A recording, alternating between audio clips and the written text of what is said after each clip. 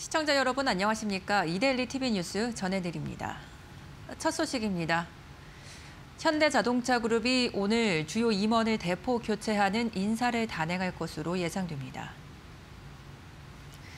지난해까지 현대차 대표이사를 맡았던 이원희 사장과 울산 공장장인 하원태 사장 등 1960년대 초반 출생 사장들이 교체될 것으로 알려졌습니다. 또한 그간 노사 인단협 타결에 결정적 역할을 했던 윤여철 부회장이 고문으로 물러날 것으로 전해졌습니다. 정몽구 명예회장의 가신그룹으로 불렸던 부회장단을 사실상 해체하면서 정의선 회장 직속사장 체제를 공고히 할 것으로 보입니다. 현대차그룹은 로보틱스와 도심항공 모빌리티, 수소 자유주행 등 미래 사업 강화를 위해 부사장 이하 임원을 3040 세대 젊은 임원으로 대폭 교체할 것으로 예상됩니다.